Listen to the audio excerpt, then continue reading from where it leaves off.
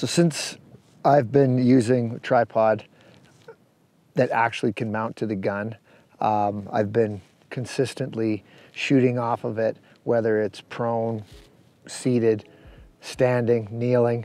I've pretty much shot animals in every position with the tripod now. And one of the most important things for me and the teachings at Gunwerks at Long Range University, where I first learned about this, is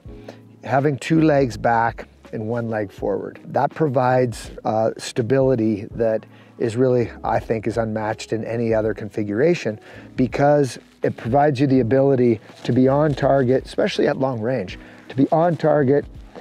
take that first initial shock, which is going to provide the recoil, but then that tripod settles right back in to exactly where it was before.